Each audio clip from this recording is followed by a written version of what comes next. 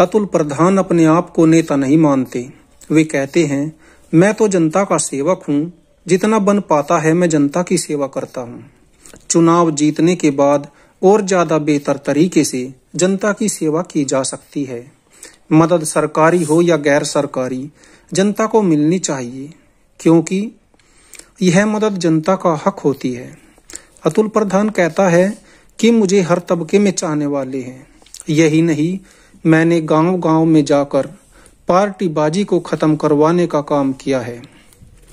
अतुल प्रधान यही नहीं रुकते और कहते हैं कि मुझे धर्म व जाति के नाम पर राजनीति करना पसंद नहीं है, क्योंकि तुष्टिकरण की राजनीति तो कमज़ोर लोग किया करते हैं।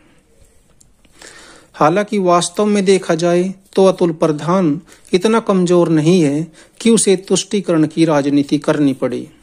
अतुल प्रधान कहते हैं कि मेरे पास पैसे नहीं है। कुछ लोग मेरी मदद करते हैं। उसी मदद से मैं दूसरों की मदद कर देता हूँ। जनता अतुल प्रधान की हाँ में हाँ मिलाती है और कहती है कि हाँ यह बात तो सही है। बच्चे भी अतुल से जुड़ी कई बातें बताने से परहेज नहीं करते और कहते हैं कि अतुल प्रधान हर किसी के सुख दुख में खड़ा मिलता है। अतुल प्रधान की सबसे बड़ी विशेषता यह है कि वो किसी धर्म, जाति को बूझकर किसी का काम नहीं करता, बल्कि जो भी, जिस भी जाति या धर्म का व्यक्ति है, उसके पास जाता है तो वो उसकी जितनी संभव हो, उतनी मदद करता है। यही बातें अतुल प्रधान को नेता नहीं, बल्कि एक जनता का सेवक सिद्ध करती है।